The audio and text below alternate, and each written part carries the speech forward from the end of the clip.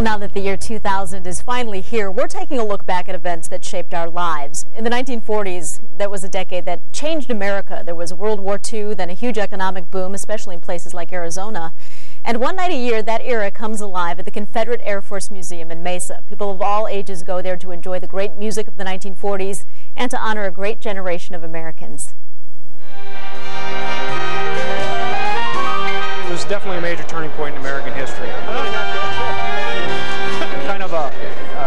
of innocence lost for America. You know, we collect and restore you know, World War II vehicles, the uh, uniforms, the equipment, uh, the weapons even. It's a good way for me to respect uh, my grandfather's generation for what they did for us.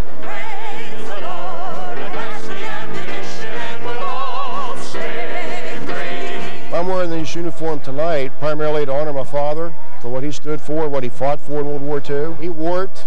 He wore it with honor.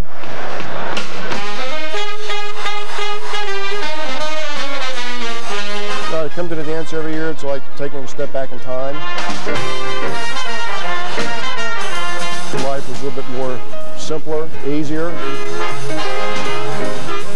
Yes, I do think that there's uh, something going on today that, that makes people yearn for what there was back in the 40s. We do know a lot about the war, World War II. We were all together, we were fighting for one thing, and that brought the country together. It was a decade of just a lot of things were going on. There was a war, there was happiness, they had the music, it had a good beat. That era was part of a a lot of things, a lot of wonderful things, and a lot of tough, tough things that happened, like World War II. Gonna watch me on the intro. I heard that the Glenn Miller Band was forming and playing for the GIs. I joined the orchestra when I was 18 years old.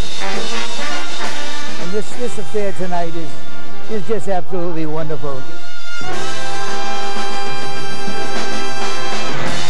Depicting those, those days uh, everybody here is dressed in World War II outfits and World War II clothes. Some of our best fans are the young, young, younger group. Of course, the older group loved this and remembered. It's nostalgia for them. Surprised me how many uniforms and World War II clothes and stuff that people still have an entire generation, all right, and they all went. I don't know if it was the greatest generation or not, but I don't think there'll be never one like it. To them, it's a memory and past. But the young young people love this music, and they're playing it, and playing it really well. Good night, I love it. I hope it continues on forever.